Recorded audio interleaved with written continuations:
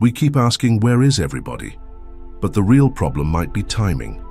A modern civilization is radio loud for a blink, about a century, then most signals shift to fiber and tight beams. From the outside, they go quiet.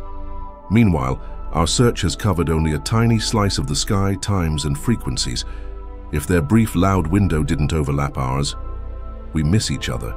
Earth's own techno-signatures are detectable, but only from limited distances and not forever.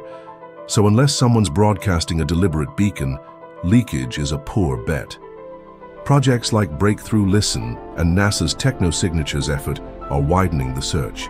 New frequencies, smarter filters, and new targets. Still, no confirmed signals yet.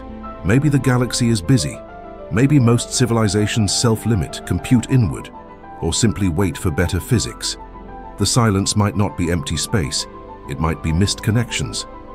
Comment window if you want a part two.